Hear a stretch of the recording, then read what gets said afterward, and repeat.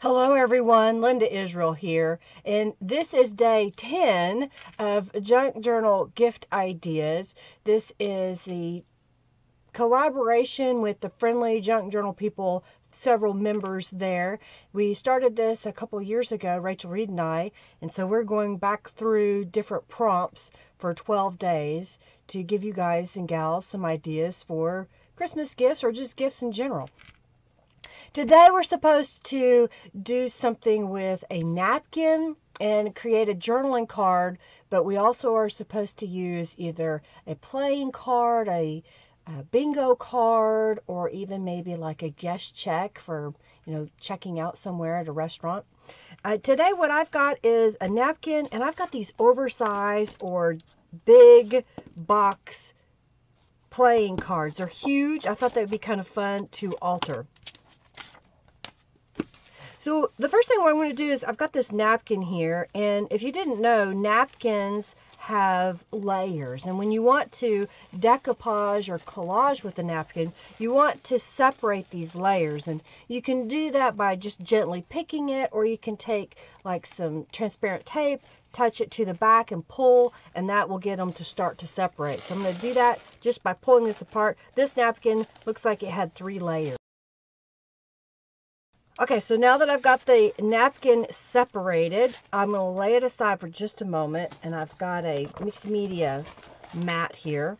I've got what I call the glue sponge or glue pot.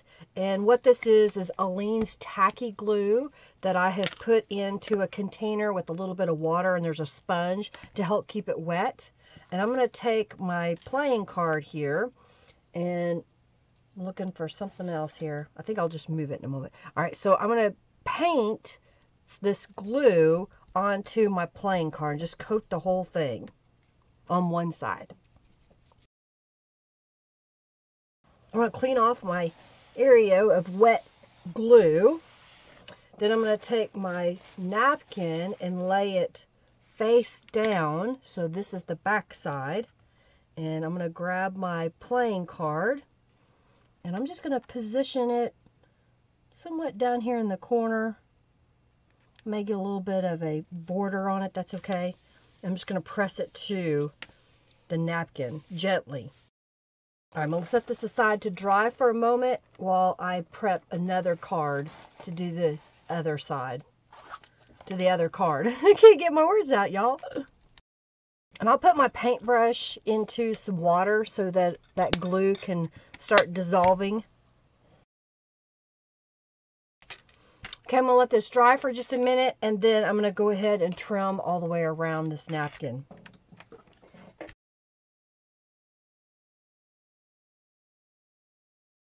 I've got a gel print here and I'm just going to cut it to be the same size as my playing cards maybe a little bit smaller because I'm going to use it on the back. So I'm going to make it just slightly smaller than the playing card.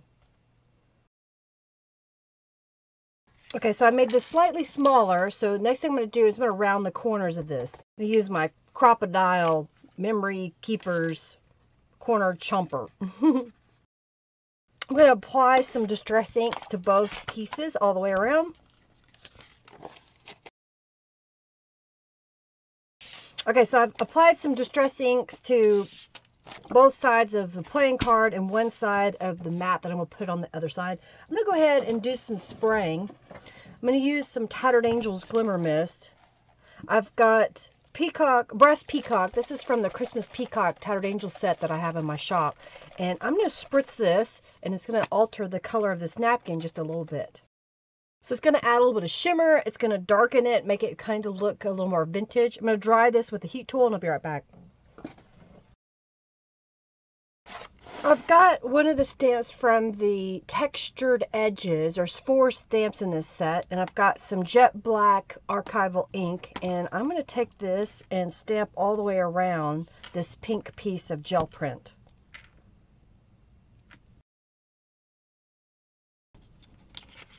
Just adds a little bit of texture all the way around. It's kind of cool, huh?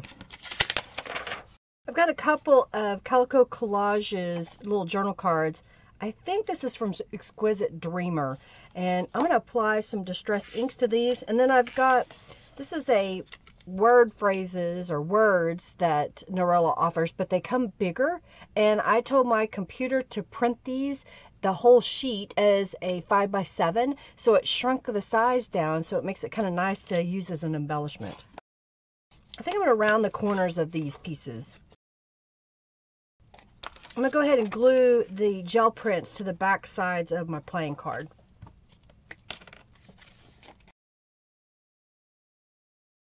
I've got some lace here, so I'm just kind of laying it out to see how I want to put this together. I think I want to do something where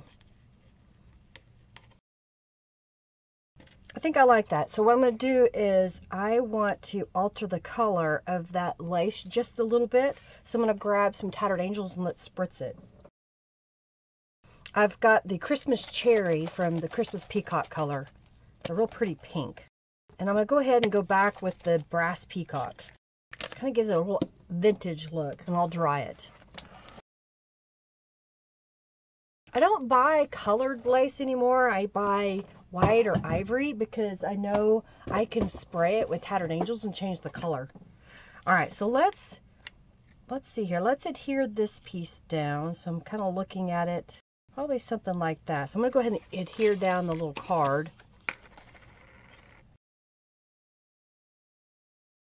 I'm just putting a little dots on the back side of this lace just all over and that'll help it adhere. Sometimes I'll grab an acrylic block and lay that on top. That'll help smoosh that down. All right, and I think this one, I'm to put like that. So I'm to glue that one down underneath.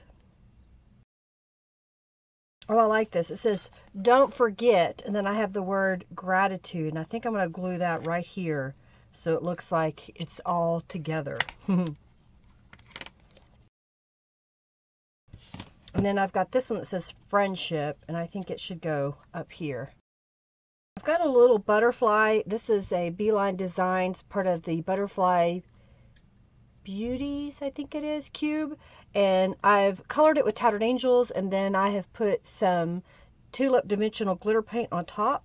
So let's put that, maybe we'll put one up here. We've got one down here, so let's put one up here. And I've got another one Let's see where I want to put it. I think like that. I've got some little pearls here. I want to see if I like these enough to use them. Maybe that's what I'll do is I'll put a little above it and then we'll put some below this. I've got a little butterfly here, some of the same stamp set, and I'm going to stamp it on the back side here, so kind of like that. So it gives a little bit of a decoration on the back side. Not a lot, just a little. Okay, I think I'm done. I could probably sit here and keep fussing with it, but I like my journal cards to be relatively flat so that they'll fit into a journal and they don't have a lot of bulk to them. So here is what I came up with, which was using an oversized playing card, using a napkin, a digital download, or a couple of them from Calico Collage, some lace, some little pearls here, a rubber stamped image, some Tattered Angels Glimmer Mist to change the color of that background. So now the napkin kind of matches the color of that card. So here it was before I sprayed it. So you can kind of see the difference in the color scheme. And then the backside was a gel print that I had and I didn't have anything on it. So I thought, well, I'll use it and stamp around the edges.